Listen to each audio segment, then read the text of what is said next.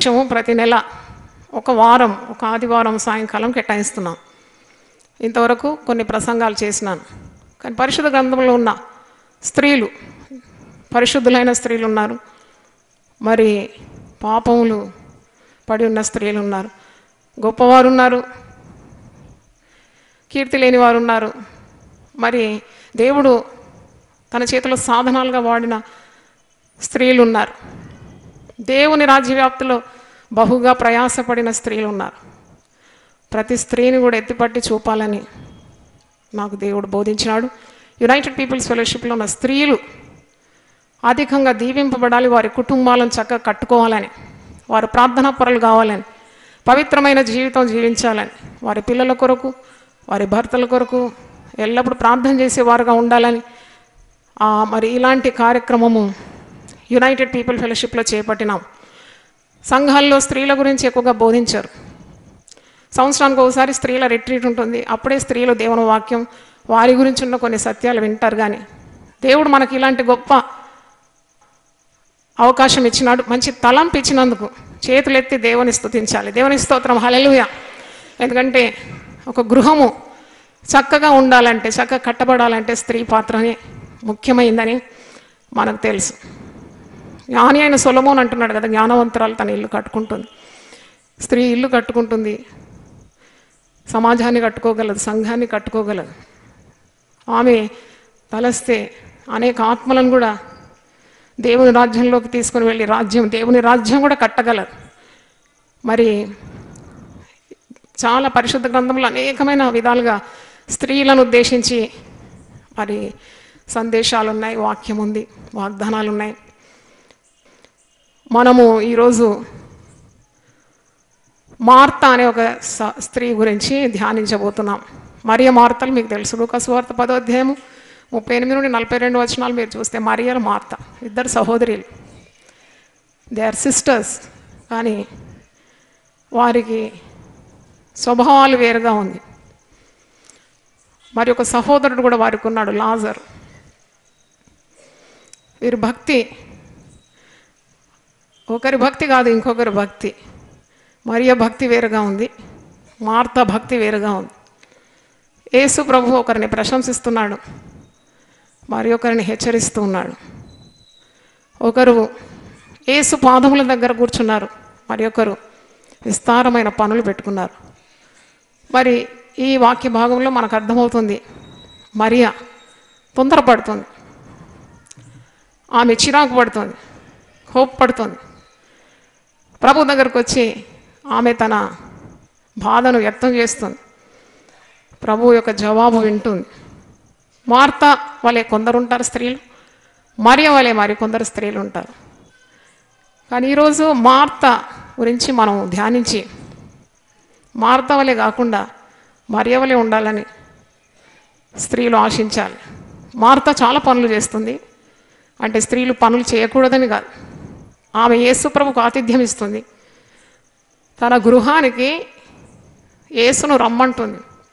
యేసుప్రభు ఒక్కడిగా ఎక్కడ వెళ్తాడు? యేసుప్రభుతో తప్పకుండా పన్నెండు మంది శిష్యులు ఉంటారు. అంటే ఒక యేసును ఆహ్వానించినప్పుడు ఆమె పదమూడు మందిని ఆహ్వానించినట్టే. ఇంకా ఎవరైనా రోగులు యేసును వెంబడిస్తే వారిని కూడా మరి ఇంటిలో చేర్చుకుందో మనకు తెలియదు పెద్ద గుంపే అది. అంతమందికి ఆమె ఆహారం సిద్ధపాటు చేయాలి. యేసు ప్రభువుకు చాలా చక్కగా ఆతిథ్యం ఇవ్వాలని ఆమె ప్రయత్నాలు.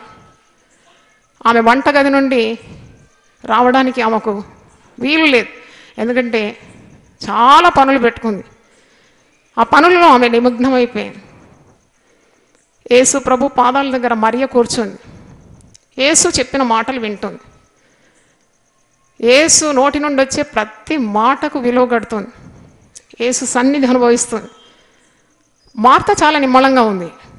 ఆమెకు కలవరం లేదు. ఆమెకు తొందరపాటు లేదు. కానీ ఏసుకు దూరంగా ఉన్న మార్త చాలా పనులు పెట్టుకున్న మార్తకు తొందరపాటు ఎక్కువైపోయింది. ఆమె మరియ మీద కోపడుతుంది చిరాకు వచ్చేసింది. యేసు ప్రభు దగ్గరకు వచ్చి she is complaining about Mary to Jesus ఈమె నాకు సహాయపడడం లేదు. ఈమె కొద్దిగా వచ్చి నాకు సహాయపడమని చెప్పుమంటుంది యేసు ప్రభుతో. ఇవన్నీ మనకు తెలిసిన వాక్యమే. లూకాసు వార్త పదో అధ్యాయం ఒకసారి తీయండి. యేసు ప్రభు మరియను ప్రశంసించి మార్తాకు హెచ్చరిక ఇస్తున్నాడు. లూకాసు వార్త పదో అధ్యాయము ముప్పై ఎనిమిది నుండి Luke ten thirty eight to forty two. అంతటా వారు ప్రయాణమైపోచుండగా ఆయన ఒక గ్రామములో ప్రవేశించారు బెతనియా గ్రామం. బెతనియా ఎరుషలేముకు దాదాపు రెండు మైళ్ళ దూరం. యేసుప్రభు తరచుగా ఈ గృహానికి వచ్చి వారిచ్చే ఆతిథ్యాన్ని పొందుకునేది సేవలో చాలా విశ్రాంతి అవసరం కదా ఎంతమంది రోగులను స్వస్థపరిచి ఎన్నో పర్యాయములు నోరు తెరిచి వాక్యం అందించిన యేసుప్రభు విశ్రాంతి కావాలి. ఆయన అంటాడు కదా నక్కలకు బొరియలు ఉన్నాయి ఆకాశ పక్షులకు గూళ్ళున్నాయి మనుష్య కుమారునికి తల వాల్చటకైనను స్థలము లేదు. నాకు అనిపించింది ఆయన తలవాల్చుకోవడానికి మరియ మార్తలున్న గృహానికి వచ్చి కొద్దిగా విశ్రాంతి తీసుకొని వారిచ్చి మంచి భోజనం భుజించి తిరిగి మరి శక్తి పొందుకొని పరిచర్యకు వెళ్ళేదేమో. ఎందుకంటే ఆయన మనుష్య రూపంలో ఉన్నాడు మానవునిగా ఉన్నాడు కాబట్టి మనుషులు అలసిపోయినట్టే యేసుప్రభు అలసిపోయేది ఆకలిగా ఉండేది అప్పుడు ఈ గృహము చాలా ఆతిథ్యము ప్రభువుకి ఇచ్చినట్టు మనకు అర్థమవుతుంది. పైగా యేసు ప్రభు మరియను మార్తను అలాగే లాజరును చాలా ప్రేమించినాడని యోహాన్ సువార్త పదకొండో అధ్యాయంలో మీరు చూస్తారు. ఐదో వచనంలో యేసు మార్తను ఆమె సహోదరిని లాజరును ప్రేమించాను లవ్డ్ ఆల్ ద త్రీ చాలా ప్రేమించినాడు అనమాట వీళ్ళ. మరియు మార్తలను ప్రేమించినాడు లాజర్ను ప్రేమించినాడు. ఈ కుటుంబంతో చాలా సన్నిహిత సంబంధం ప్రభువుకున్నది. అందుకే మాటి మాటికి వస్తున్నాడు. విశ్రాంతి తీసుకుంటున్నాడు. ఆతిథ్యాన్ని పుచ్చుకుంటున్నాడు. వారితో సమయం గడుపుతున్నాడు. అంటే మరియ మార్తలు అంటే యేసుప్రభు ప్రియులే. మరియను మార్తను లాజర్ను యేసు ప్రేమించినారనే వాక్యం ఇప్పుడే చూసినారు కదా. మరి యేసుప్రభు ప్రయాణమై ఈ గ్రామానికి వచ్చి మార్త అని ఒక స్త్రీ ఆయనను తన ఇంట చేర్చుకున్నాను నాకు అనిపిస్తుంది యేసుప్రభు వెనక ఎప్పుడూ జనసమూహం ఉండేది శిష్యులు ఉన్నారు. మార్గంలో పోతుంటే మార్త ఎంతో కోరుతుంది యేసు తన ఇంటికి రావాలని. యేసు తమ గృహం దాటిపోవడం మార్తకి ఇష్టం లేదు కాబట్టి యేసును పిలుస్తుంది. తన ఇంట చేర్చుకుంది అని వాక్యంలో చూస్తున్నాం. ఆమెకు మరియ అను సహోదరి ఉండెను. ఈమె యేసు పాదముల యొద్ద కూర్చుండి ఆయన బోధ వినుచుండే. దేవుని స్తోత్రం. హల్లెలూయా. యేసు పాదాల దగ్గర కూర్చొని. యేసు చెప్పే ప్రతి మాట వింటుంది. ఆ దినాల్లో యూదులకు ఒక కట్టడం ఉంది ఏంటంటే తోర అంటే దేవుని ధర్మశాస్త్రం లేక దేవుని నియమాలు స్త్రీలు వినకూడదని. యేసు ప్రభు ఎంత ప్రేమమయుడంటే యేసు మరి ఆ కట్టడను కూడా బద్దలు కొట్టినాడా? ఒక స్త్రీతో దేవుని మాటలు పలుకుతున్నాడు. ఆ స్త్రీ వినకూడదు. తోర అంటే లేక ధర్మశాస్త్రాన్ని ఆమె చెవులో పడకూడదని యూదుల నియమం. స్త్రీలను చాలా నీచంగా ఎంచుతారు. వారు ఒక స్త్రీగా పుట్టనందుకు ఒక అన్యునగా పుట్టనందుకు ఒక బానిసగా పుట్టనందుకు కృతజ్ఞతాస్థుతులు ప్రతి యూదుడు. ఉదయం లేచి దేవుని స్థుతిస్తాడు అట్టి పరిస్థితిలో యేసుప్రభు ఒక స్త్రీకి వాక్యం బోధిస్తున్నాడు.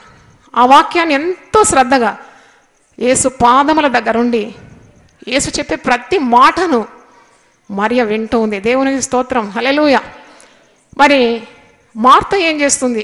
మార్త గురించి ఈరోజు మనం కొన్ని మాటలు ధ్యానించాలి. మార్త విస్తారమైన పని పెట్టుకున్నట చేత తొందరపడి పనులు ఎక్కువైపోయింది ఆమెకు. చాలా పనులు పెట్టుకుంది. నేను అనుకుంటాను ఒక మరి చాలా వంటకాలు చేయాలని ఏసు యొక్క ప్రీతిని సంపాదించుకోవాలి. ఏసు తృప్తిగా బుధించాలని ఆమె ప్రయత్నాలు. చాలా పనులు పెట్టుకున్నాడు. విస్తారమైన పనులు పెట్టుకొని తొందరపడుతుంది. ఎక్కువ పనులు ఉన్న దగ్గర తొందరపాటు ఎక్కువ ఉంటుంది. అంటే టెన్స్ అయిపోతారు కదా టెన్షన్ అంటారు. చాలా పనులు చేయాలి. పరిమిత సమయంలో అవన్నీ ముగించాలి. ఇంటికి వచ్చిన అతిథికి సత్కారం చేయాలి. భోజనం పెట్టాలి. ఆయనతో ఉన్న శిష్యులకు కూడా మరి భుజించే రీతిగా వండాలి. అంటే ఇవన్నీ పనిపాట్లు ఎక్కువ పెట్టుకుంది. ఆమె విస్తారమైన పనులు పెట్టుకొని తొందరపడుతుందండి. ఆయన ఎదుగు వచ్చి ప్రభువా నేను ఒంటరిగా పని చేయుటకు నా సహోదరి నన్ను విడిచిపెట్టినందున నీకు చింత లేదా? అంటే మీ విడిచిపెట్టిందంటే అంతకుముందు ఈమెతోనే పనిచేసింది అనమాట చాలా సమయం. యేసు ప్రభు దగ్గరకు వచ్చి ఆమె దుఃఖాన్ని వెళ్ళగ్రక్కుతుంది నేను ఒంటరిగా పనిచేస్తున్నాను నా సహోదరి నన్ను విడిచి నీ పాదాల దగ్గర కూర్చుంది. దీని విషయం నీకు చింత లేదా? చూడండి నాకు మార్త గురించి ఈ మాట చదివినప్పుడు ఆమెకు కోపం ఉన్నా ఆయాసం ఉన్నా తొందరపాటు ఉన్నా ఆమె ఏసు దగ్గరకైతే వచ్చింది. దేవుని స్తోత్రం. కోపం ఉన్నది బాధ ఉంది ఈర్ష్య కూడా ఉంది. ఏసు పాదాల దగ్గర హాయిగా కూర్చొని మాటలు వింటుంటే ఇవన్నీ కూడా ఆమె ఎక్కడ వెళ్ళగరక్కిందంటే ఏసు దగ్గరకు వచ్చింది. ఆమెకి ఈర్ష్య ఉంది. పని చేయండి పని వదిలిపెట్టి వచ్చిందనమాట నన్ను ఒంటరిగా విడిచిపెట్టి వచ్చింది ఈమె. అంత పని నేనే చేయాల్సి వస్తుంది. ఒంటరిగా చేస్తున్నాను. నీకు చింత లేదా? అని అడుగుతుంది. యేసు ప్రభు ఏమంటున్నాడు చూడండి. ఆమెను నాకు సహాయం చేయమని ఆమెతో చెప్పు అంటున్నాడు అని అంటుంది మార్త. నువ్వు చెప్పు మరియతో చెప్పు. నీ పాదాల దగ్గర మాత్రం కూర్చొని వాక్యం వినడం కాదు. లేచి వంటే గదికి వచ్చి నాకు సహాయం చేయమని ఆమెతో చెప్పుమని అంటున్నాడు అంటున్నది మరియ మార్త. అప్పుడు ప్రభు ఏమంటున్నాడు నలభై ఒకటో వచనం? అందుకు ప్రభు మార్తా మార్త. రెండుసార్లు పిలుస్తున్నాడండి. క్రొత్త నిబంధనలో ఒక స్త్రీని యేసు ప్రభు రెండుసార్లు పిలిచాడంటే కేవలం మార్తాని. మార్తని పిలిచాడు. Martha Martha. మరి ఒక పర్యాయము? సీమోను సీమోను. మరి ఒక పర్యాయం దర్శనము చూస్తున్నాడు కదా? దర్శనంలో ప్రభు సౌలా సౌలా అంటే రెండు పర్యాయములు మార్తాను పిలుస్తున్నాడు. అంటే మార్తాను కూడా ప్రేమిస్తున్నాడని మనం తెలుసుకోవాలి. ట్వైస్ చేసుకోవాలి రెండు సార్లు ఒక వ్యక్తిని ఎందుకు పిలుస్తాం? ఒకసారి ఒకసారి వినకుంటే మరి ఒకసారి పిలుస్తాం మనమైతే. కానీ ఎంతో ఆప్యాయంగా మార్తా మార్తా నీవు అనేకమైన పనులను గురించి విచారం కలిగి తొందరపడుచున్నావు. కానీ అవసరమైనది ఒక్కటే. మరి ఉత్తమమైన దాన్ని ఏర్పరచుకొనెను. అది ఆమె యొద్ద నుండి తీసివేయబడదని ఆమెతో చెప్పాను. దేవుని స్తోత్రం. ఈ మాట చాలా అద్భుతమైన మాట. ఒకసారి చపలు కొట్టి దేవుని స్తోతించాలి. హలలుయ మార్తా మార్తా. నువ్వు అనేకమైన పనులను గురించి తొందరపడుచున్నావు. కానీ అవసరమైంది ఒకటే మరియ ఉత్తమమైన దాన్ని ఏర్పరచుకుంది. అది ఆమె యుద్ధ నుండి తీసివేయబడదు. I will not allow her to leave my feet ఆమెను రమ్మని ఈమె పిలుస్తుంది. రమ్మని మరి ఆమెతో చెప్పండి నాకు సహాయం చేయమంటే యేసుప్రభు ఏమంటున్నాడు? ఆమె ఉత్తమమైన దాన్ని ఏర్పరచుకుంది. Mary has chosen the best అది ఆమె యుద్ధ నుండి తీసివేయబడదు. It will not be remote from her only one thing is needed అవసరమైనది ఒకటి. ఆ ఉత్తమమైన దాన్ని ఆమె ఏర్పరచుకుంది. నాకు సేవలో మరి చాలా గొప్పగా నన్ను దీవించిన వాక్యం ఇది వాగ్దానం ఇది. తొంభై రెండులో దేవుడు నాకు దర్శనం ఇచ్చినప్పుడు ఈ స్వరం విన్నాను ఈ మాటలు నా చెవులకు వినబడేది నేను బ్యాంక్లో పనిచేస్తున్నాను బ్యాంక్ ఉద్యోగం ఎలా వదలాలి? నాకు ఎవరు డబ్బులు ఇస్తారు నెల నెలకు? పని చేస్తే కదా డబ్బులు వచ్చేది. మరి నాకు కుటుంబం ఉంది కదా. ఏ విధంగా నేను సేవా పిలుపుకు లొంగిపోవాలి అని ఇలాగూ విచారపడుతున్నప్పుడు ఈ మాటలు నా చెవులకు వినబడింది. మరియ ఉత్తమమైన దాన్ని ఏర్పరచుకుంది. అవసరమైనది ఒక్కటే. అది ఆమె యొద్ద నుండి తీసివేయబడదు. ఈ మాటలు వినబడ్డది నేను బైబిల్లో చూశాను చదివాను. మా నాన్నగారితో కొద్దిగా చర్చించినాను ఈ మాటల గురించి. అంటే నాకు పరిశుద్ధాత్ముడు అప్పుడు ఏం బోధించినాడంటే నీకు ఒక్కటే అవసరం. అది దేవుని సన్నిధి. నువ్వు దేవుని నీతిని రాజ్యాన్ని వేదుకు. నీకు కావలసినవన్నీ కూడా దేవుడు నీకు అనుగ్రహిస్తాడు. ఇదే అవసరమైంది. ఇది ఒక్కటే నీకు అవసరం.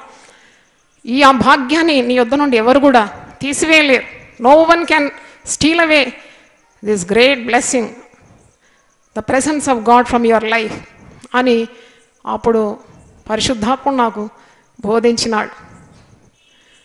మరి దేవుని పట్టుకున్నాను. అప్పుడు ఎప్పుడైతే నాతో దేవుడు మాట్లాడినాడో ఈ మాట.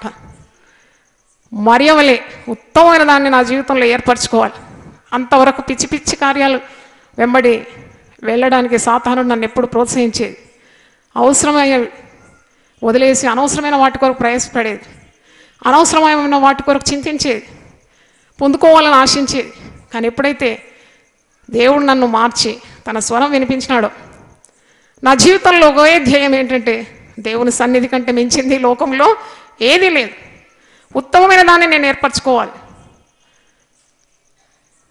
అంటే మరి అనవసరమైనవన్నీ తొలగించుకోవాలి. నాకు అవసరమైంది ఒకటే. అని when I started giving priority top priority to the presence of God in my life God changed my destiny నా తలరాత మారిసేసినాడు దేవుడు. దేవునికి స్తోత్రం. హలెలుయ నా భవిష్యత్తును తీర్చిదిద్దినాడు దేవుడు. దేవునికి స్తోత్రం. చెప్పలు కొట్టాలంటే కొట్టాలి. దేవునికి స్తోత్రం. హాలెలుయ తుచ్చమైన అభిలాషలను వదిలిపెట్టి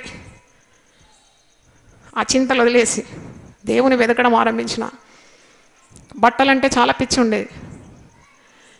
ఆ సుల్తాన్ బజార్ నేను తిరగని వీధులు లేవు. మరి సొమ్ములంటే చాలా ఆశ ఉండేది. చాలా చక్కగా కనబడాలని ఒక ఆశ ఉండేది. అందరికంటే గొప్పగా నేను ఉండాలని. బ్యాంక్లో కూడా టాప్ లీడర్షిప్ కావాలని ఆశించినాను. కానీ ఇవన్నీ కూడా మరి పక్కన పెట్టి ఎప్పుడైతే నేను దేవుని పట్టుకున్నాను దేవుడు నాకు సమస్తంగా మారిపోయినాడు. దేవుని స్తోత్రం. ఈ బికేమ్ మై ఎవ్రీథింగ్ ఒక ప్రశస్తమైంది ముఖ్యమైంది అవసరమైంది నేను నా జీవితంలో ఎంచుకున్నప్పుడు నన్ను దీవించడం నా కుటుంబాన్ని దీవించడం లక్షలాది జనాన్ని కూడా దేవుడు దీవిస్తున్నాడు. దేవుని స్తోత్రం హలెలుయ టీవీ ద్వారా దేవుని వాక్యం ఎంతోమంది బలపడుతున్నారు. వారు ఫోన్ల ద్వారా ఉత్తరాల ద్వారా తెలియజేస్తారు అంటే ఎప్పుడైతే నేను దేవుని చిత్తాన్ని వెదిగినానో అప్పుడు దేవుని నియమంలో నేను ముందుకు సాగి దేవునికి మహిమ మరి దేవుని రాజ్యాన్ని కూడా కట్టగలిగిన దేవునికి స్తోత్రం హలెలుయ మార్త మరి ఇద్దరు మన ముందున్నారు. మరి అయితే ప్రభు పాదాలు వదిలిపెట్టడం లేదు. మార్తేమో విస్తారమైన పనులు పెట్టుకుంది. మరి ఎందుకు యేసు ప్రభు మార్తాను ప్రశంసించలేదు? ఆమె ఆయన కొరకే ప్రయాసపడుతుంది కదా. She struggling hard to give him a good meal to him and his followers why did Jesus not appreciate Martha ఎందుకు ఆమెను ప్రశంసించలేదు? ఏమో మరి అని ఎందుకు ప్రశంసిస్తున్నాడు? అంటే ఆహారము వండడంలో తప్పులేదు ఆతిథ్యం ఇవ్వడంలో తప్పులేదు పని చేయడంలో తప్పులేదు చురుగ్గా ఉండి అనేకమైన కార్యాలు దేవుడిచ్చిన శక్తితో సామర్థ్యంతో చేయడంలో ఏ తప్పులేదు కానీ ఇవన్నీ కూడా దేవునికి వెద దేవుని వెదకడం బదులుగా ఉంటే దేవుడు ఒప్పుకోడు అనమాట అంటే ఆమె నాకు అనిపించింది మరి ఆమె యేసు ప్రభుకు ఆహారం పెట్టాలి. ఈమెమో కొన్ని పనులు చేసి వచ్చి పాదాల దగ్గర కూర్చుంటే పనులు ఎలాగ అవుతాయి అని మనం అనుకుంటాం. ఇద్దరు కలిసి పని చేయాలి తొందరగా పనులు ముగించుకోవాలి. గొప్ప సర్వ సృష్టికర్త దేవుడే నీ గృహంలో వచ్చినాడు. ఆయన పాదాల దగ్గర నీవు సమయం ఎక్కువగా గడపాలి. కొందరు స్త్రీలను మనం చూస్తాం. వారు ఇరవై నాలుగు గంటలు ప్రార్థన వాక్యం దేవుని సేవ చేస్తుంటారు కానీ కుటుంబాన్ని అలక్ష్యం చేస్తారు. అలా చేయకూడదు. మరి ఎవరి నువ్వు ఉత్తమమైనది ఎంచుకున్నావు? మరి అది సరి అయిందే. కానీ దేవుడికి ఇచ్చిన బాధ్యతలు కూడా సక్రమంగా చేయాలి. తీతుకు రాసిన పత్రికలో పౌలు అంటాడు కదా స్త్రీలు మీరు భర్తలను పిల్లలను ప్రేమించేవారిగా ఉండాలి. ఇంటి పనులన్నీ కూడా చక్కబెట్టాలి.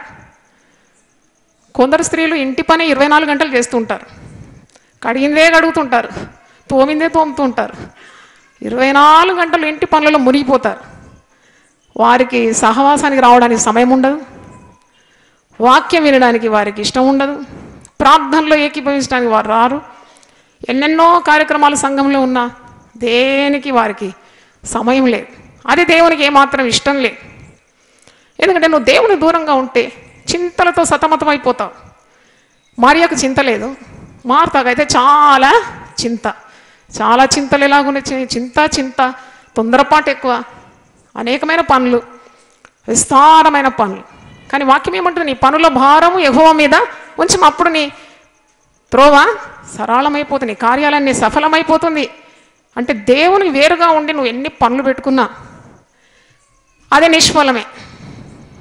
You will not gain anything ఎందుకంటే దేవుని దగ్గర నువ్వు ఉంటే దేవుని సన్నిధి ఉంటే నీకు జ్ఞానం ఉంటుంది ఆరోగ్యం ఉంటుంది వాగ్దానాలు స్వతంత్రించుకుంటావు. ధైర్యం ఉంటుంది. దేవుని తోడు ఉంటుంది. అప్పుడే నువ్వు ఫలిస్తావు. హాలలుయ ప్రభు నీ పరిశుద్ధ నామనకు స్తోత్రం. స్త్రీలైన వారందరూ నిలిచినారు నీ సన్నిధిలో. బలహీనమైన వారి చేతులు బలమైన నీ సింహాసనం తట్టు ఎత్తుతున్నారు. నీ సన్నిధి కావాలని కోరుతున్నారు.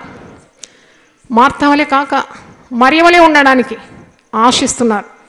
శ్రేష్టమైనది యోగ్యమైనది అవసరమైనది. ప్రాముఖ్యమైనది ఎంచుకోవడానికి. ప్రతి ఒక్కరికి నీ జ్ఞానము దయచేయమని ప్రార్థిస్తున్నాం. తుచ్చమైన అభిలాషలకు వారి ఆలోచనలు అటు ఇటు కొట్టుకొని పోకుండా విశ్వాసమున కర్తవి దాన్ని కొనసాగించుకోవడానికి యేసు వైపు చూడడానికి జ్ఞానం దయచేయమని ప్రార్థిస్తున్నాం. ఉదయమే నేను వెతకడానికి ఉన్న తెలివి దయచేయమని ప్రార్థిస్తున్నాం. నీ సన్నిధి వెతకాలి. నీ బలము వెతకాలి. ప్రార్థనా జీవితం ప్రతి ఒక్కరికి దయచేయండి నాయన. కొండల తట్టు మాకు కనులిచ్చున్నా మాకు సహాయం ఎక్కడి నుండి వచ్చు భూమి ఆకాశం సృజించిన యహోవ వల్లనే మాకు సహాయం కలుగుతుంది ప్రభువ. నీవే మాకు ఆధారం. నీవే మా ఆశ్రయమై ఉన్నావు ప్రభువ. నీ సన్నిధిలో ఒక గంట అయినా గడపడానికి స్త్రీలైన వారికి మీరు కృప దయచేయమని ఆ జ్ఞానం దయచేయమని ప్రార్థిస్తున్నాం. అన్నీ ఇచ్చిన దేవుణ్ణి మర్చిపోకుండా ఎక్కువగా పనుపాట్లు పెట్టుకొని తొందరపడకుండా కలవరపడకుండా విచారపడకుండా స్త్రీలకు కావాల్సిన దైవ జ్ఞానము దయచేయండి తండ్రి. నా జనులు జ్ఞానము లేక నశిస్తున్నారన్నావు. అవును తండ్రి ఇట్టి జ్ఞానము ఎంతో మాకు అవసరమై ఉంది మా జీవితాల్లో. నీకు వేరుగా ఉండి మేము ఫలించలేము. నీకు వేరుగా ఉండి మేము ఏమీ చేయలేము. నీ సన్నిధి మాకు కావాలి. నీ చల్లదనం మాకు కావాలి. నీ చూపు కావాలి. నీ నీడ కావాలి. మాకు తోడు నీవు కావాలి ప్రభు సహాయము దయచేయండి. నీ పాదములు ఎంతో శక్తి కలవి నాయన. నీ పాదాల దగ్గర కొద్దిసేపు అయినా గడపడానికి సహాయము దయచేయండి. అయినా నీకు స్తోత్రం. శ్రేష్టమైన ఆశీర్వాదాలు ఇచ్చే దేవుడు. చింతలన్నీ కొట్టేసే దేవుడు. విచారం కొట్టివేసి నేను వారికి ఆనందము దయచేస్తానని సెలవిచ్చినావు. విచారాలన్నీ కొట్టివేయండి నాయన. నీ భారం యహోవా మీద మోపము. ఆయనే నిన్ను ఆదుకొని నీతిమంతులను ఆయన ఎన్నడూ కదలనీయడని సెలవిచ్చినావు. దేనిని గురించి చింతించొద్దన్నావు? ప్రతి విషయము ప్రార్థన విజ్ఞాపన చేత కృతజ్ఞతాపూర్వకం మీ విన్నపములు ఆయనకు తెలియజేయమన్నావు. అవును తండ్రి కుటుంబ భారం ఉంది పిల్లల భారం ఉంది ఆర్థిక ఇబ్బందులు ఉన్నాయి శరీరంలో రుగ్మతలు ఉన్నాయి అప్పు బాధలు ఉన్నాయి ఇవన్నిటి భయాలన్నీ కూడా నీ సన్నిధిలో పెట్టినప్పుడు వాటన్నిటి నుండి విడుదల ఇచ్చే దేవుడు తప్పించే దేవుడు అయి ఉన్నావు. ఆయన దేవుని వాక్యం టీవీ ద్వారా వింటున్న స్త్రీలను కూడా మీకు జ్ఞానంతో నింపండి. మారు మనసు లేని భర్తల కొరకు నీ సన్నిధిలో ప్రార్థన చేయడానికి కృప దయచేయండి. విశ్వాసం వారికి దయచేయండి. వాక్య జ్ఞానం దయచేయండి. సహవాస బలం వారికి దయచేయండి. మందిరంలోని దీవెన వారికి దయచేయండి. వా మందిరాన్ని ప్రేమించడానికి సహాయం దయచే నీ సన్నిధి కొరకు పరుగులెత్తుకొని రావాలి నాయన. పనిపాట్లలో పడి దేవుని యొక్క శక్తిని త్యజించకుండా నాయన నీ సన్నిధిని ప్రేమించే బిడ్డలుగా చేయమని ప్రార్థిస్తున్నాను నీ నీతి నీ రాజ్యం మీకు కావాల్సినవన్నీ ఇస్తానని నీవే వాగ్దానం చేసిన దేవుడు. రేపటి గురించి చింతించొద్దన్నావు. నాయన నువ్వు తోడుంటే మా కీడు రాదు ప్రభు. మా కుటుంబాలన్నీ క్షేమంగా ఉంటుంది కాబట్టి మేము నిన్ను వెతకడానికి సహాయం దయచేయండి విస్తారమైన పనిపాట్లలో తొందరపడుతూ మార్త ఎంతో కలవరపడుతుంది. మార్త మార్త నువ్వు అనేకమైన పనులను గురించి విచారిస్తున్నావు. కానీ అవసరమైనది ఒక్కటే. మరీ ఉత్తమమైన దాన్ని ఏర్పరచుకుంది. అది ఆమె యుద్ధం నుండి తీసివేయబడదని సెలవిచ్చినావు. నిలిచున్న ప్రతి స్త్రీ మీద నీ అభిషేకము కొలత లేకుండా దయచేయండి వారి శరీరాలను తాకండి. మంచి ఆరోగ్యం వారి దయచేయండి విసుగు నీరసత్వం నిరాశ నిస్పృహల కృంగుదల ఏసునామను బంధిస్తున్నాను గొప్పదే నీ ఆత్మతో నీ బిడ్డలు నింపుమని. వారి కుటుంబాల క్షేమము నెమ్మది సమాధానము సర్వ సంపదలు వారికి దయచేయమని. నీ ప్రశస్తమైన సన్నిధితో నింపుమని. ఏసునామంలో అడిగి వేడుకుంటున్నాను తండ్రి. ఆమె దేవుడు మన సమృద్ధిగా దీవించును గాక